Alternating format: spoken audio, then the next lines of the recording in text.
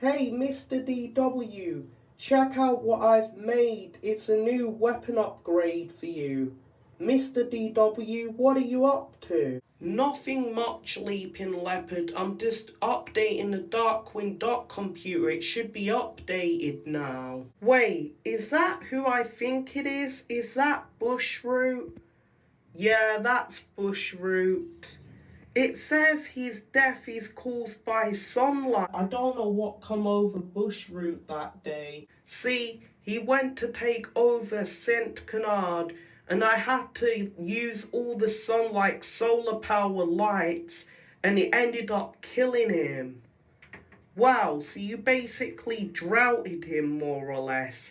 Yeah, because he was tearing Saint Canard apart. If I didn't do anything, he would have destroyed it and it caused him to die because he's a plant-based person and he needed water and light to grow and he got too much and he just basically dried and shriveled up and just turned to dust. Mr. DW, I didn't know any of this.